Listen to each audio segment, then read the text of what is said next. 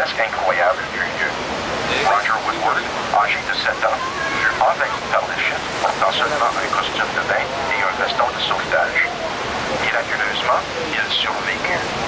Presque à cet endroit même, un bateau mélodomiste lui est venu au secours. À l'extrême gauche des chutes de fer à cheval, on trouve